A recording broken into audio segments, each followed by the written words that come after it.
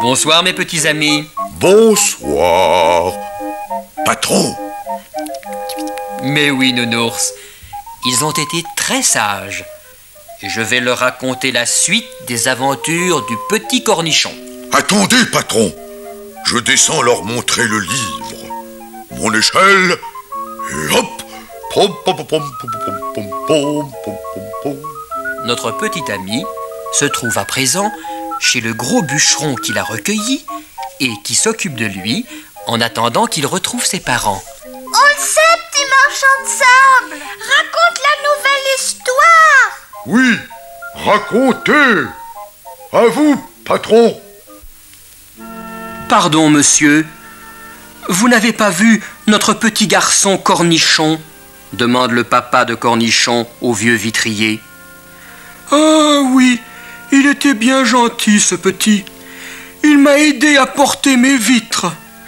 Et où est-il? Vous le savez? Ma foi, non. Il est parti. Moi, je sais où il est, nounours Moi aussi Il est avec le bûcheron, dans la forêt Chut, les petits, écoutez la suite. Le papa et la maman de Cornichon, ainsi que Dada qui tire la roulotte, sont arrivés dans la grande ville et ils continuent à chercher partout leur petit garçon. Les pauvres, est-ce qu'ils doivent être inquiets? Pardon, madame, vous n'avez pas vu mon fils Cornichon?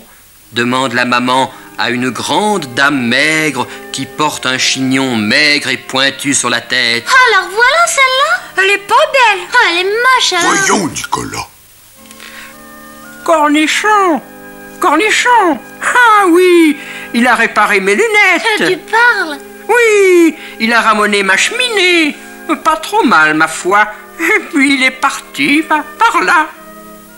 Mais voilà qu'un agent de police s'approche de la roulotte. Oh bah il manquait plus que ça. Allons, circulez Et plus vite que ça. Vous voyez bien que dans cette ville, il n'y a pas de place pour une roulotte En avant Circulez Oh, Mais oui.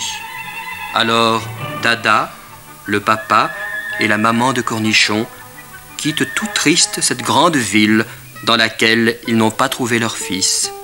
Et ils s'en vont à sa recherche dans la grande forêt. Chic alors Ils vont le retrouver Oh oui Hélas, non. Cette forêt est si grande que Cornichon n'entend pas la jolie musique que son papa joue pour lui à la guitare. Et notre petit garçon s'endort, bien au chaud, dans la cabane de bois du gentil bûcheron, en pensant à sa maman, à son papa et à son ami Dada. Il a pas l'air malheureux Mais il les retrouvera, ses parents, dit Nounours bien sûr, les enfants, vous verrez.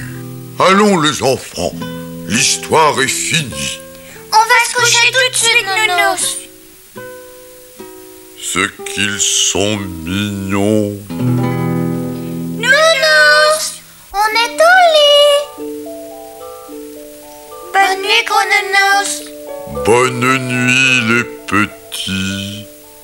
Là, j'éteins la lumière. À demain.